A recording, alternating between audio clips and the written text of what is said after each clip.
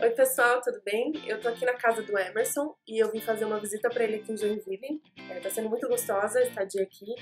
É, eles são muito queridos, muito receptivos e eu tô muito feliz de poder estreitar os laços da amizade e do trabalho com eles. Eu queria deixar uma dica para vocês, como eu tô aqui comendo de graça, dormindo de graça, eu tenho tempo livre.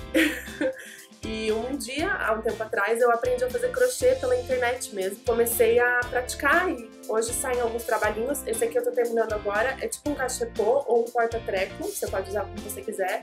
Ele é muito simples de fazer e você pode aprender e usar o seu tempo de uma maneira produtiva, né, em alguns momentos que você estiver livre. É uma coisa que você pode fazer escutando música, você pode fazer escutando uma pregação, acho que é uma coisa que dá pra conciliar no seu tempo livre. E é fácil de fazer, não é muito difícil, acho que se você com um pouquinho de dedicação e perseverança, você consegue aprender. E aí você pode inclusive vender e ter uma rendinha extra para alguma coisa que seja necessária para vocês. É barato. Esse fio, por exemplo, aqui, aqui na cidade, a Vanessa falou que comprou por 12 reais e já fiz um cachepô e dá pra fazer mais um, talvez mais ou menos desse tamanho, talvez um pouquinho menor. E tem várias coisas bonitas que a gente pode fazer que encantam o nosso lar, que trazem alegria para o ambiente, que acabam deixando o ambiente mais agradável também. Então essa é a dica que eu queria deixar para vocês. Espero que vocês se inspirem e possam praticar e fazer coisas lindas aí para a família de vocês.